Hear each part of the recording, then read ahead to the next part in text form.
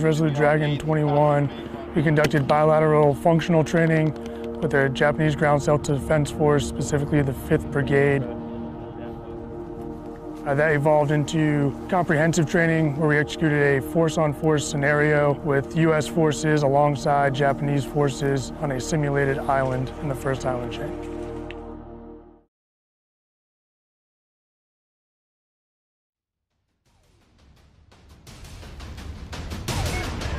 The force on force that we are doing with second company as of right now is we are splitting the AO together and the Japanese are defending their own objective while we are defending ours. However, we are integrating our COCs together so we can communicate, integrating our fires together,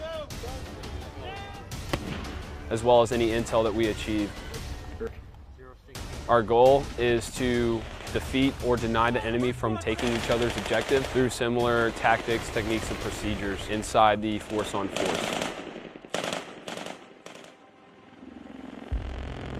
I think that the most important takeaway coming out of this exercise is that in order to build trust with foreign partners, we have to do more exercises like this.